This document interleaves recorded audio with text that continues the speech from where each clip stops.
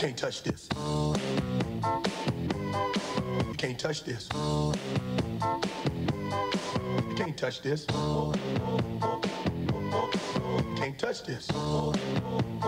My, my, my, my music hits me so hard. Makes me say, oh my Lord, thank you for blessing me. What a mind to rhyme and to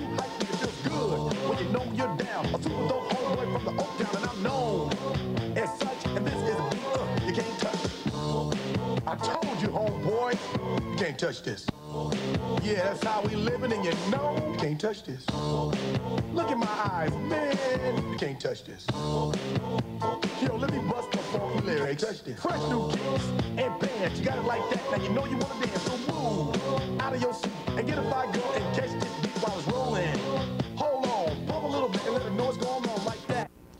Hi everyone, welcome to another edition of UNC Sports Extra. I'm Matt Bachman alongside new co-host Kristen Cuffey. Thanks, Matt. Let's start off by looking at Carolina's game against Houston.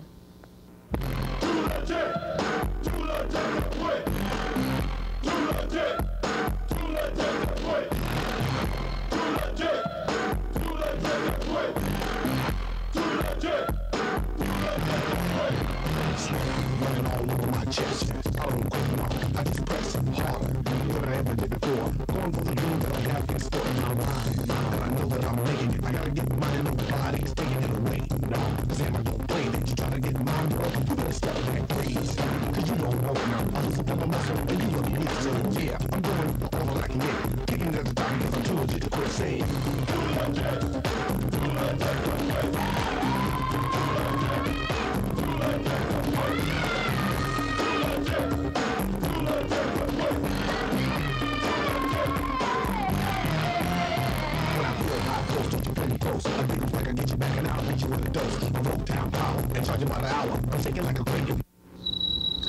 Heels did look impressive against Houston in their game last night. Uh, real impressive. First of all, was Chris Keldorf, the quarterback.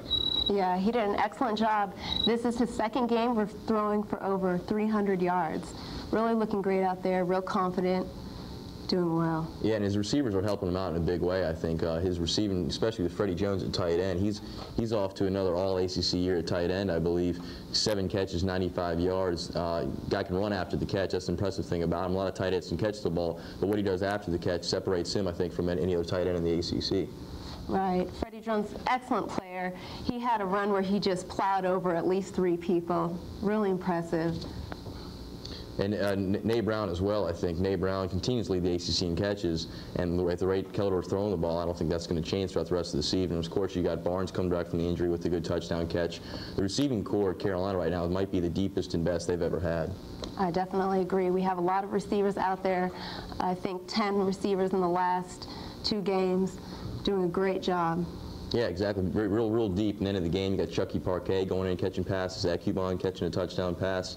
Um, and another thing about I thought the game against Houston, I thought was the good decision to put Leon Johnson back there returning punts and some kickoffs, and he really did look sharp, Kristen. Yes, he did. Joey Blythe's had a couple of problems um, with those punt returns. He also had an excellent game. Uh, he leads the nation right now in interceptions. His eighth, I believe, Right. of Eighth the year. Yeah, let's talk about that defense for a minute. Uh, of course, the secondary, you know, is, has always been good this year, real solid.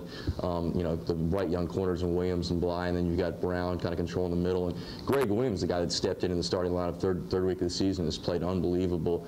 Um, but the defensive line, I guess, again led by Greg Ellis, just is Oh, aw- man, we can't forget about Greg Ellis. He's just done a tremendous job. In fact, I think that he's a junior now. He has one more year under his belt. We've got to compare to some of the greater players like Marcus Jones and Lawrence Taylor. He's just done an unbelievable job this year. That's true. Last year's defense, um, you know, Marcus Jones kind of got all the all the credit, and uh, it was it was it was more of a team. It's more of a team this year than it was last year. It's not like a one-star unit, and uh, everybody in the offensive line can play. You know, the Marcus Dowds, the Vonnie Hollidays, Mike Pringleys, they all get out there. They flat out get after it. Their pursuit in the backfield is, is unbelievable. Um, but the Tar Heels. If they need to work on one thing heading into the rest of the season, I think it's the special teams, Kristen. Last night you saw the problems with the field goals. The punt average is not even close to 40 yards. They've got they've got some work to do. Yeah, I, I have to agree with you there. And and better than and better than in the past, I think they've done some improvement. Um, they didn't have any block punts, which is a positive sign. But I agree, they definitely need to do some improvement on that end. Yeah, that's that's one thing they taught us need to need to work on and need to look at rest during the season. You know, they're playing like a top 10 team as far as offensively and as far as defensive side of the ball, but in special teams, you know, it's what separates the Florida States from the rest of the nation when you have a punter in Sean Liss and a and a place kicker in Scott Bentley and the return guys, they're you know blocking Chevin Smith blocking punts all over the place. And Carolina, you know, I think they're a legitimate top 10 team, but if they want to win a bowl game against another legitimate top 10 team, they've got to iron out the problems that they have in special teams because that is just going to be huge going down to the season, especially up in Charlottesville in a couple of weeks. Um, you know, as far as the rest of the season goes, that's pretty much the only game that Charlotte really have to worry about. Yes, I think that Virginia is going to be um, the biggest game left left in the season, and they're going to have to really get it together, especially because they're playing at Virginia's home. Um, other than that, I think they'll probably finish pretty high in the rankings. Um, doing a great job. Yeah, uh, number eight probably after the uh, you know the loss of uh, Alabama to Tennessee, and um, and you know if they keep winning against the states and the Louisvilles, they should just move on up from there. And Carolina has a great shot at uh, grabbing the last Alliance Bowl bid. I agree, Matt. And even though that we have kind of an easy finish with the Duke and NC State, we have to remember that these are teams that have been long-time rivals.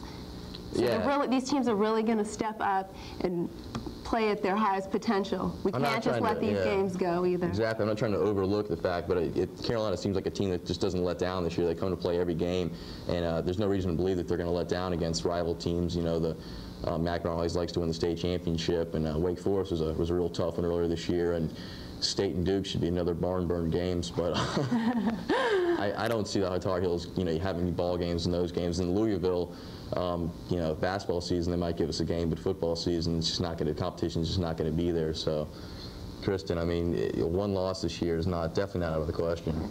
Right. All right, well, we'll go ahead and take a look at the other big games that happened this last week, including Bama, Tennessee, and Virginia, Florida State, when we come back right here on Sports Extra. A stroke is a brain attack. It's the third leading killer in North Carolina. Warning signs appear suddenly. Sudden severe headache, vision problems, trouble speaking, numbness on one side of the body. We're all at risk. Know the symptoms so you can get medical help fast.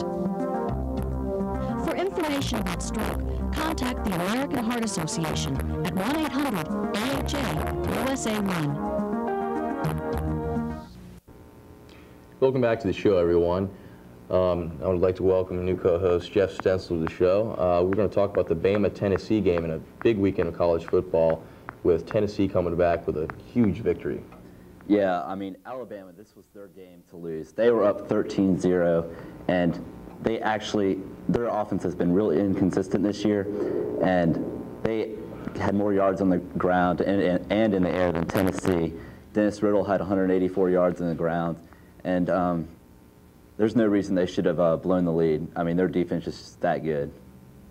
Yeah, I, I, agree. I was really surprised Peyton Manning had so many problems early in the ball game like he did, and he, he, he just seemed to be struggling. And Bama was getting pressure on the quarterback, and ended up you know getting points off of it, getting turnovers, and um, Bama. I thought they were going to lose big in this game. I thought Tennessee was just a better football team. Bama hadn't played anybody on their schedule, but Dennis Riddle's a great running back. Kitchen showed some promise last night, and their defense is all it's billed to be. They, they are, I think they're a solid top 10 team. I think both those teams are solid football teams. But Tennessee, with Jay Graham making the big run in the end, they just had a little too much, a little too much depth, a little came show in the fourth quarter. And, um, you know, when the game was on the line, they took it. Yeah, Jay Graham was really impressive. Last year, he ran for 100, over 100 yards in 11 games. This year, until this game, he only had one game over 100 yards, and that's not saying much considering their weak schedule. Um, it was a really big game for him. Yeah, he really kind of stepped up and showed, you know, why he did have so many games last year. I, he was so impressed with breaking tackles. Um, you know, the holes were there, but he was making yards, you know, after contact, which is big. And, um, you know, Peyton Manning, I, I, don't understand. It seems like in the big games he's been struggling a little bit this year. Yeah, Bama has a great defense, but, you know, I think you've got to look at offensive line too. You can't put all, this, you know, all the blame on Peyton Manning's shoulders. But Tennessee really, really needed to win this ball game after the Florida loss and uh, and they're they're still definitely in the hunt for an Alliance Bowl bid at this point. Yeah, I, I totally agree. I was impressed with Tennessee's um, Tennessee's defense at the end of the game. Alabama's the team that's known for their defense, but at the end it was Tennessee's defense that came through when Alabama was down at the goal line, going to score the winning or not the winning touchdown, but the tying touchdown. So I was impressed by that. Yeah. Well, if you want to look at defense, Florida State, Virginia was a great game to talk about, Jeff. Uh, Florida State struggled a little bit, you know, especially early in the ballgame. They're down at halftime.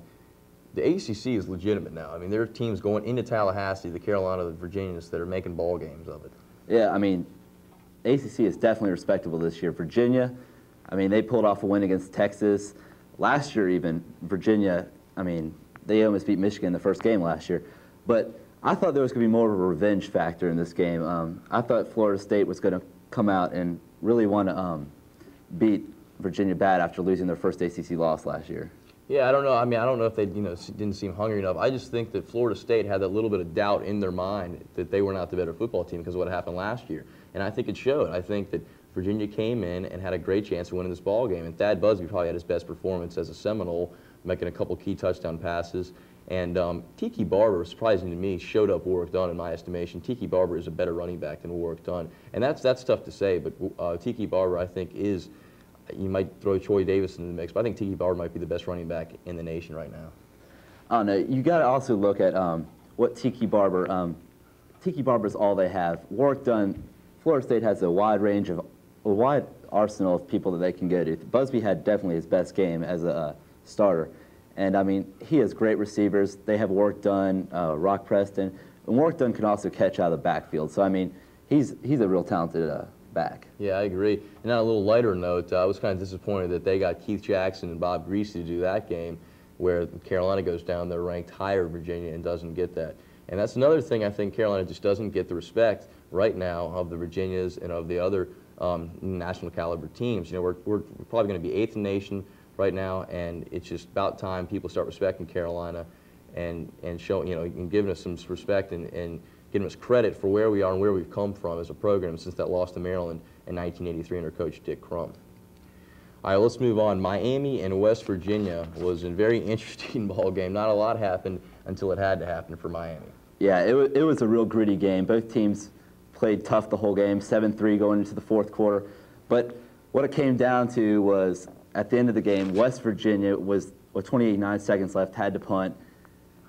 Tremain Mack he had 18 block punt since he's been at Miami. They didn't block him, came in, blocked the punt. Nate Brooks came in and ran in for the touchdown. Miami won the game.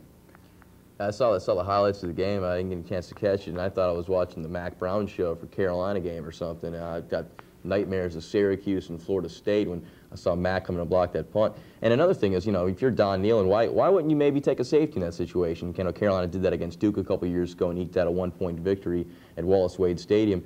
But you know, Don Nehlen, you take a safety and then kick it. Clement's got a hurt arm. You know, it seems like they could have wrapped the game up. Yeah, I definitely agree that they should have ran back, got the safety. Clement's arm was not that good. He he came back with a gritty performance after the injury last week, but still, his arm is not good enough to throw it downfield with about 10, 15 seconds left. And um, I don't know, sort of Barry Alvarez call from last week.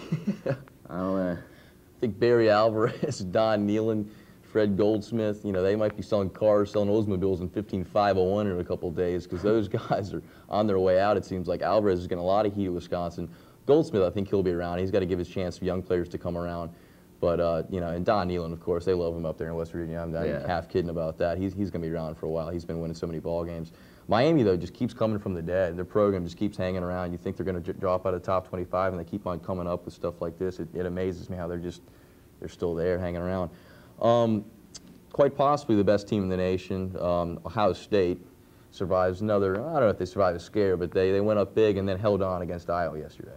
Yeah, uh, they were up 31-6 at half, and they just sort of, they were led by Pepe Pearson and Montgomery, who I think rushed for about 250 yards combined.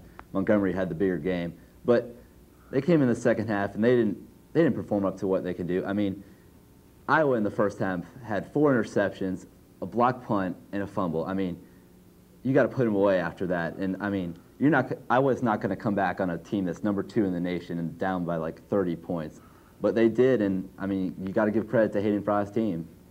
Yeah, I mean, Iowa's, uh, I think, a well, of course, a well-coached football team. They're having a great season, and they had a lot of confidence going into the game. They thought they could play with Ohio State, and they did. I mean, they went down early, struggled, but they, you know, they kept fighting. And the thing is, Iowa, I don't think has given up any points in the fourth quarter all year. And I mean, it seems like they get stronger. I know the strength coach there must be really impressive because they just get stronger as the ball game goes on. They don't really jump out to early leads. they kind of just hang around, and then in the fourth quarter, they, you know, they kind of show up. But uh, Ohio State's right another scare. You know, of course, they're not going to lose any points in the poll. You know, they've had a Ohio State's had a real tough schedule, still undefeated, and they have a great shot at winning the national championship. I let's look at a Big 12 matchup: Texas and Colorado. That that game was definitely an interesting game. Texas came out on in the first half and just took a huge lead, and uh, Koy Detmer went down for Colorado, and that was a major blow because early in the season he was a Heisman Trophy candidate. But Hessler, John Hessler, their backup quarterback, who came in for five games last year and really took care of business, came, had like five late game comebacks, and um, he's just probably the, one of the best backup quarterbacks in the country. There's not much more you can say about him. He was just a great quarterback.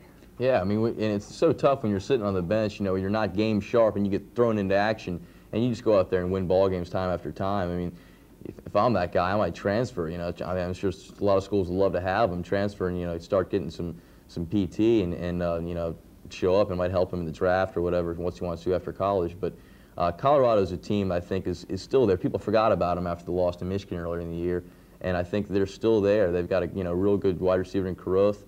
And uh, you know, if Detmer can come back, of course Hessler can can carry the load. But that team is looking strong heading into the end of the season. They they've survived a couple scares, and I think they're definitely going to be there when when the bowls come around. Yeah, what really impressed me with John Hessler though was the fact that they were down 24-21 and they, they were deep in their own zone, and he tossed the ball back to his running back, but there was no one there. They and Texas got the ball at the 16-yard line, about to score. The coach got mad at New Neuheisel got mad at him, and lucky enough, uh, Williams fumbled two plays later, so they were just lucky to get the ball back. And he he showed great poise and great character because he just the next drive he drove him downfield 90 yards, and that was the game-winning touchdown. So I mean.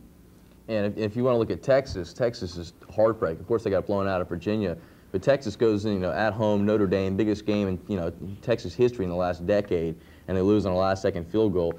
And then Texas, you know, great game at Colorado, had a chance to win the ball game, and they lose by you know four points. And it's just it's been a tough season for a, a, a real. I think it's a good uh, Texas football team. I think they're a legitimate top 25 team.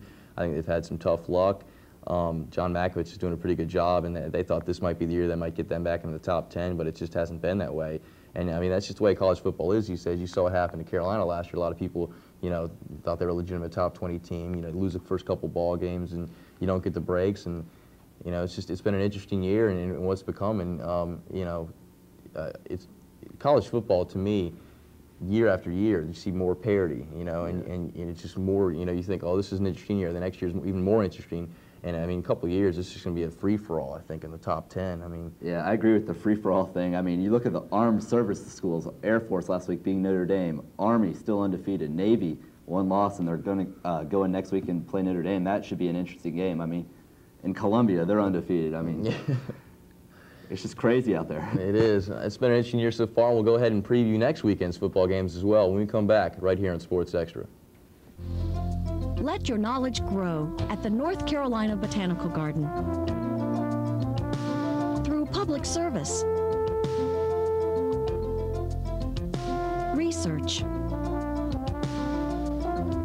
conservation, and education. The garden brings North Carolina's rich natural heritage to you. It's a beautiful way to learn. Welcome back to the show, everyone. Uh, yet another co-host, Rusty Gibbs, joins me. Um, Rusty, there's some interesting games this weekend. Let's start off, first of all, with Washington at USC. Yeah, this is going to be a really tight matchup. I'm looking for a USC victory. It's at USC, and uh, you got to go back with the quarterback comparison. You got Brad Otton, who is highly recruited, coming in as a Heisman candidate, and not doing too well this season, but I'm looking for a big game. And then you got Huard for uh, Washington, and uh, you know it's it's last calls for USC if they want to bring out anything this season, and it's at home. And if they don't do too well, then you know Don Robinson might be joining Fred Goldsmith on 15501 selling those Oldsmobiles. yeah, I agree. I, I, think it's it's going to be a good ball game. I think they're pretty evenly matched teams. I think you got to give the nod to Southern Cal just because they are playing at home, and um, you know at this you know a Pac-10 game and. S Southern Cal has, has, had a tough year. They've you know lost some close ball games. Uh, the Cal loss really hurt, and um, but I just think they're going to rebound. I think they are they are a pretty good team. I do, do not think John Robinson is going to be there for very much longer, but uh, he saves face for, for uh, yet another weekend with the win over Washington. All right, uh, Northwestern and Penn State. Well, you know me, I'm not a very big Northwestern fan, but game after game they pull something out of their ass. But I don't see it happening at Penn State, uh, mostly because I'm going with Joe Jurevicius. Uh, their wide receiver had a big game in Indiana, four receptions for over 100 yards, 55-yard touchdown pass. He's 6'4", and uh, Northwestern's got fairly small corners. But then you go with Northwestern and you look at Autry's, Darnell, and Adrian. They've been having a good game. And uh, I think Steve Schnur for Northwestern is better than uh, Penn State's quarterbacks. That's the one problem Penn State's been having.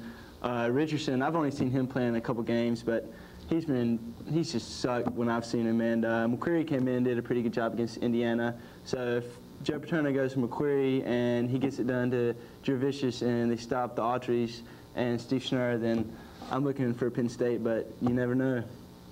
Well, I think this is going to be a great ball game. I think the Northwestern, uh, you know, they're just the comeback kids. They, they week in and week out, they go down in the first half and they keep coming back. I think the team is great character, and uh, Barnett is a real good football coach. But I think Penn State wins this game. I think the team has a little bit of a new identity after the backup comes in. You know, for for Richardson, it leads them to a big time victory uh, at Indiana, big second half, and uh, they got a good running back in Curtis Enis, and they got some depth at the running back position as well. But I think the reason they win this ball game is because they've, they've been tested this year. They've already had some big games, you know, with the Ohio State, and um, you know, you know, of course they did lose, I guess, the Iowa game. But I think they're, you know, they're kind of recharged, you know, rest of the season. Northwestern, uh, they can't survive again. I think that they've they've run out of lives, and I think they take it on the chin in this ball game. Okay, let's look at an SEC game that is not this weekend, but it's in two weeks, and it's Bama at LSU, November 9th, Rusty. Uh, this is going to be a, a, great game, Matt. Uh, I'm going to go with LSU on this one. First of all, because it's Alice at LSU. Second of all, for the quarterback comparison, I just don't like Freddie Kitchens for Alabama. He threw three interceptions against uh, Tennessee yesterday at critical points. He's just he's just not that the quarterback like the Jay Barker. He's he's short, bigger. He's a little slower. He almost looks like a fullback to me. And second of all, you got to look at uh, Faulk for LSU. LSU's run offense is leading the SEC. He had 246 yards yesterday against Mississippi State. And, uh, I mean, LSU's been struggling for a while, and they, ha they have a chance to win the SEC West. They've already beat Auburn, and it's more or less Auburn, Alabama, LSU, so they've already beat Auburn, and they have Alabama at home. They have a chance to win it and get play Florida again in the title game of the SEC. Of course, they'll get beat, but you know, at least at least to have a shot. Yeah, I think the, I think the key to this ball game is Dennis Riddle for Alabama. You know, like you said, Kitchens does struggle at times, and I don't think that Kitchens is going to have a very good ball game against the good good secondary at LSU. You got to remember Ron Case used to be the secondary coach over there at LSU, and you've seen what he's done here at Carolina this year. They have a real good secondary. Kitchens is, is throwing to throw interceptions. So if Riddle can control the game, it's going to be running back comparisons. To be Faulk versus Riddle, if you ask me. And of course, the turnovers can play can play a role in the ball game as well. But Dennis Riddle, um, if he has a big game, if they can control the ball and keep Alabama's defense off the field, keep them fresh, you know, they could go down there and to me pull an upset at LSU because I think LSU should be favored in this ball game, and I think LSU will squeak out a close victory with Marshall Faulk having a big day. All right, FSU at Tech in the ACC. We've, we've seen these teams. We're familiar with both of them and uh, this shouldn't be a ball game. Yeah, it shouldn't be a ball game, but you never know. You know, Tech was the first team that almost handed FSU their loss back in 1993. I don't know how Florida State did it. They came back from 12 with uh, two minutes left, a couple onside. All Charlie Ward. Onside kick, yeah. But uh, they're, they're just not. I mean, Tech's good. Granted, you know, they did beat Virginia, but Florida State's just going to beat the hell out of them, in my opinion. Georgia Tech's not playing with the confidence they were earlier in the season. They uh, they struggled yesterday, you know, I against Central Florida. They lost Clemson. Uh, you know, it was a big win, you know, against Virginia, but Virginia turned the ball over five times. They barely squeak it out. You've got a good, good young quarterback in Joe Hamilton, but uh, Florida State's just too good. I mean, I, and Georgia Tech, to me, I mean, their, their home field advantage isn't much one. You know, that, that crowd just doesn't get going, I don't think, at Grant Stadium. I think they've got a pretty weak crowd there, if you ask me. They barely fill the place up for big ball games, and I don't, I don't understand it in the heart of Atlanta. It's a good little atmosphere there to me, but went to a ball game last year, and they didn't even fill the game up for Carolina, who just beaten Virginia, which is pretty weak if you ask me. You know, and I think that uh, you know having having a nonpartisan crowd like they do, I think that it's you know Florida State's just going to come in there and wipe them all over the place. You know, Florida State has beaten the two other two other best teams in the conference in Virginia and North Carolina, and I think Georgia Tech is even though they lost to Virginia, I think that was just a rare ball game. I think nine out of ten times Virginia wins that ball game. I think Georgia Tech gets their, gets it handed to them by about three touchdowns at least. You know, Florida State's just just way too good. Nebraska at Oklahoma a couple years ago. This might have been a game. This year, I don't know. No, I, I don't see anything really happening with this game. You know, back in the 80s, early 80s, when they had Barry Switzer and the Wishbone, it was always a game. But that's when it was the Oklahoma, Nebraska, uh, Big Eight. Now it's well, now it's Big 12, but in that section, it's uh, it's the Colorado Nebraska League now. Oklahoma, they just hadn't done much. They did beat Texas. But I mean, still, Texas, not Nebraska. Scott Frost threw for three touchdowns yesterday. Is I mean, Nebraska just obliterated Kansas, and uh, after the ASU loss, Nebraska's looking strong, and I mean, it'll be a good, it'll be a good classic ball game if you're a Nebraska fan and ready to see Oklahoma get whipped. But yeah, no, I think the only thing I can say about this ball game is John Blake just needs to tell his players, "Hey, look, you know, we're I don't know who they're playing the week after, but there is a game after this because it's just not going to be pretty at all. Even though it's at Oklahoma. I mean, if they can even uh, give them a game and you know maybe get some confidence under their belt, but they did have the upset of Texas, but since then they've since lost and. They just don't have the talent they used to have there at Oklahoma, and uh, even though the game is in Norman, it, it's just not going to be a ball game. So you know, a lot of games this weekend. Not a lot of good games, but uh, you know, there, you know, there's, you know, you, you never know if it's going to be a scare or not. But uh, Oklahoma in this ball game, just, I think they get pounded personally. Yeah, I mean, Nebraska could use you for a quarterback, and you know they still beat Oklahoma. And that's just how bad they got a pretty good arm, Rusty. Now, come on now. Yeah, I got some offers. You know, Wofford, Spartanburg State. All right, let's talk. Let's talk baseball for a minute. I was real impressed with the Braves going up uh, two nothing and then losing that series. I, uh, I've never seen such a choke in my entire life. Um, Bobby Cox, you know, he might want to hand it down to Pat Corrales or Jimmy Williams or so on. When you put Mark Wohlers in and have him throw sliders, when he throws 100 miles per hour, you've got problems. When you sign Terry Pendleton and start him at DH in Game Six of the World Series, you've got problems. When you've got Jeff Blauser at shortstop, you've got problems. Okay, I don't care that the Yankees came back and you know and showed heart and showed determination and went down to Atlanta. I mean, how do you lose the last three games in the history of Atlanta Fulton County Stadium? That's the weakest performance I've ever seen by a major league sports team in the history. And you've got to give credit to the Yankees. I am giving credit to the Yankees. It was a great comeback win. They've got a great team, good bullpen in Wetteland, and they had veteran players that came and that stepped up when they had to. But if you're the Atlanta Braves, if you're Atlanta those fans, you're the organization, you go to Yankee Stadium, win the first two games, lose the series four games in a row. Absolutely despicable, Rusty. Yeah, well, I'm glad it turned out. I'm a Yankees fan, but uh, I agree. I mean, it was pretty bad. I think Joe Torre, though, he made some good calls. He took Tino Martinez off first base and put in Fielder. And, you know, a lot of people just see Cecil as hitting the home runs, but, uh, you know, he didn't even hit one in the World Series, although he did drive in four RBIs. And, uh, Slapping singles to right and left all over the place. I feel sorry for Bobby Cox's wife and his liver because I know he probably got drunk as hell after his losses and went home and did a little. Uh, it's quite possible, you know. We're not going to make any allegations right now, though. But uh, yeah, I, I, just thought it was it was it was a horrible horrible loss uh, for the Braves. Um, an absolute choke. Um, game game four, the one they were up six to nothing, come back and it's Wohlers hangs a slider. Then you got guys in first and second with one out in the bottom of the ninth, and McGriff hits into it. The Braves have good players, but the Braves need a bullpen. They've always missed a bullpen. When you have Charlie Leibrandt coming out of your bullpen in 91 and giving up the game to the Twins, you've got problems, and they still do. And, the Braves have a you know great organization. They're gonna, probably going to be back there next year, but they've shown that they cannot win the big game. I mean, they won the World Series last year, and that was a great pitching performance that you know they got through. But they've lost to the Blue Jays, lost to the Twins. Now they lost to the Yankees, and next year I wouldn't be surprised if the Braves go to the World Series and lose it again. They're just that kind of team. But uh, getting back to the show, it's been it's been an interesting show. Uh, Yeah. A lot of college football. It's been a great It's year fun. so far, and uh, we'll hope to see you next week right here on Sports Extra. I'm Matt Bachman for Rusty Gibbs. Later. Special thanks to the Mack Brown Show, CBS Sports, Fox Sports, Prime Sports, ABC Sports, E ESPN, and a shout out to Moose Roberts, Wally Tons, Heritage, ECN, Little G, Big Dan, Drew Son Russell, and Jacob Parker.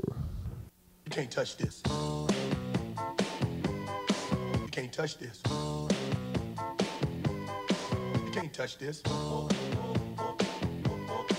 can't touch this.